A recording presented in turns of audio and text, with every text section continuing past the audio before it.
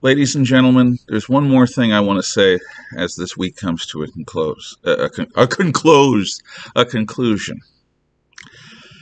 Maybe this is silly, like celebrating a week's anniversary when you're in a new relationship.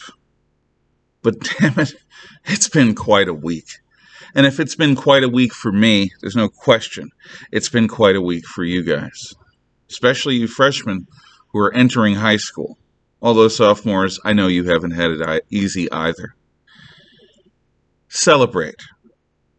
When you're done with all the stuff that you've got to do for the first week, take your family and celebrate because you deserve it.